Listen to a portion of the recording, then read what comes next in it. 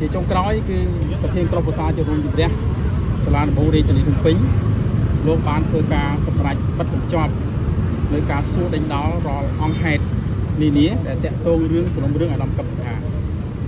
ហើយប្រធានក្រុមប្រសាបានសម្រេចអឺរយៈពេលឲ្យគូពិគីទៅសេសារណាឬក៏សាវឬក៏សាវនាការចុងក្រោយនៅថ្ងៃទី21ខែ12ឆ្នាំ2022 មានន័យថារយៈពេលពីពេលនេះទៅរយៈពេលជាង2ខែជាង2ខែក៏ប៉ុន្តែ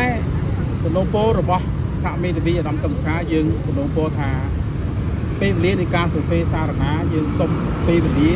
រយៈពេល2សប្តាហ៍រយៈពេល2សប្តាហ៍តំណាងអាយកាសុំរយៈពេល3ខែមេធាវីខាងដំណឹងរដ្ឋបាលទីសុំសំណូមពរ2ខែក៏ប៉ុន្តែការសម្រេចចុងក្រោយគឺតុលាការបានសម្រេចទុករយៈពេលឲ្យ2ខែលើសបន្តិចបាទ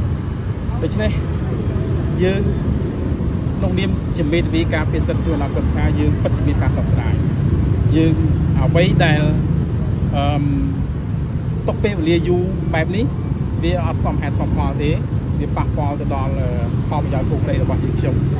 ហើយអាហ្នឹងរឿងទី1រឿងទី2ទោះបីយ៉ាងណាក៏ដោយ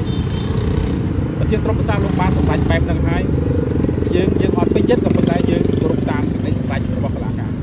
មានព័ត៌មានជូនប៉ុណ្ណឹងដល់បងប្អូនអ្នកសាស្ត្រ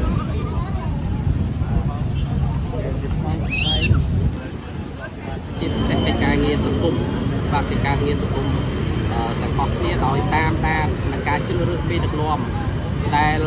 មានគុណតម្លៃខ្ពង់ខ្ពស់ស្មោះត្រង់លះបង់ពិតប្រាកដជូនប្រទេសជាតិអឺទៅរាល់ការដឹកនាំទាំងអស់ បន្សុទ្ធមកថ្នាក់ដឹកនាំល្អល្អកាលណាមានថ្នាក់ដឹកនាំល្អល្អពីមូលដ្ឋានរហូតដល់ថ្នាក់លើពីនោះប្រជាពលរដ្ឋនឹងទទួលបានសេចក្តីសុខទាំងផ្លូវកាយផ្លូវចិត្តហើយការកសាងប្រទេសជាតិគឺមានការរីកចម្រើនរីកចម្រើនឆាប់រហ័សហើយនឹងមានសាមគ្គីភាពរវាងខ្មែរនិងខ្មែរអើយ